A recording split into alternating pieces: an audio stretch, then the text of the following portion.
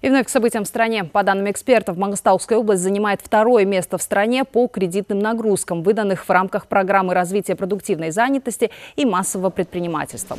Всего выдано кредитов на сумму почти 145 миллиардов тенге. И как следствие отмечается снижение уровня безработицы. В этом году только в Ахтау мерами содействия занятости охвачено порядка трех тысяч человек. Из них почти половина трудоустроена. Остальные направлены на производственную практику и профобучение. В городском центре центре занятости отмечают, в этом году трудоустройство соискателей выросло на 20%. В том числе благодаря тому, что расширили список вакансий объекты малого и среднего бизнеса.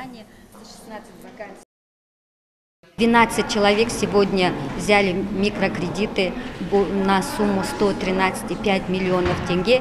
Это через фонд финансовой поддержки сельского хозяйства, три кредита на развитие животноводства и на открытие мебельного цеха.